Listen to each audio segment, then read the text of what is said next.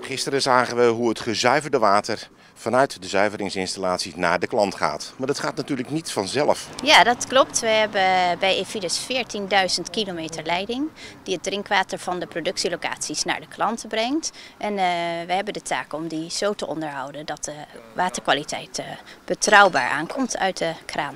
Ja, we nemen per jaar 55.000 monsters van het drinkwater.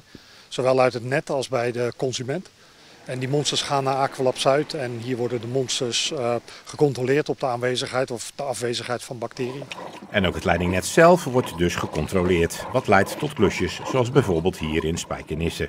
Uh, bij controle is gebleken dat deze brandkraan lekt. En uh, deze brandkraan die gaan we nu vernieuwen, zodat die gewoon weer goed zijn werk doet. Moet je dat vaak doen, dit soort klussen? Ja, dat is heel wisselvallig. Wij doen eigenlijk van alles, ook storingen en lekkages bij de mensen thuis of in het leidingnet.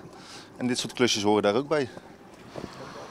Nou, het is natuurlijk wel vervelend als er onderhoud plaatsvindt of een calamiteit. Dan zitten de mensen zonder water. We doen natuurlijk ons best om dat zo kort mogelijk te laten duren. En bij deze klus is het in een kwartiertje gefixt. En nog los van onderhoud en lekkages laat Evides het drinkwater in het leidingnet dagelijks controleren. Dat klopt. Aqualab Zuid neemt in opdracht van ons iedere dag monsters. Zowel van het leidingnet als bij de consumenten thuis. Mocht nou blijken dat er iets ontdekt wordt, wat dan? Is dat dan die beroemde mededeling dat Evides adviseert om het water te koken of niet te drinken? Ja, klopt. Als we iets vinden, dan meldt uh, Aqualab Zuid meldt het aan uh, Evides.